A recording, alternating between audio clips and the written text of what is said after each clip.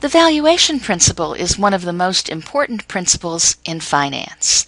The valuation principle notes that we wish to accept projects for which the benefits exceed the costs. The idea here is that whenever the benefits are greater than the costs, then firm value is going to increase. And we know from Chapter 1 that the goal of the firm is to maximize shareholder value, which it does by maximizing share price, which it does by accepting all possible positive net present value projects. We're assuming we have competitive market prices where no single buyer or seller has control over the prices. And with that assumption, let's look at an example. Please pause and take a moment to read this problem.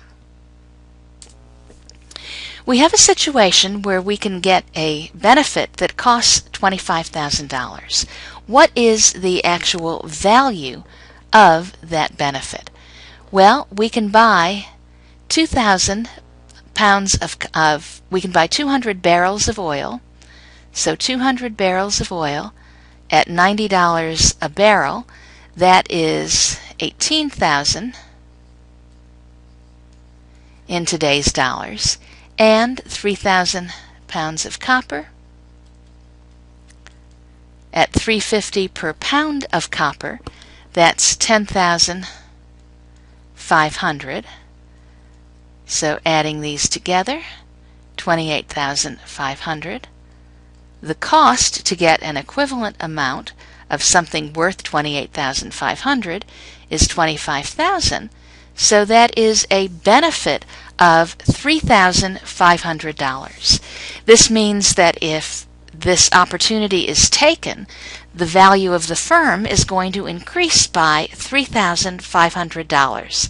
Because the value is positive, we should take it. Only current prices matter in a competitive market. Our own opinion about future prospects for oil or copper, they don't matter.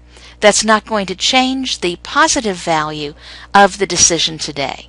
If I make this decision today and buy 200 barrels of oil and 3,000 pounds of copper for $25,000, I will have made $3,500 because today the oil and the copper together is worth $28,500.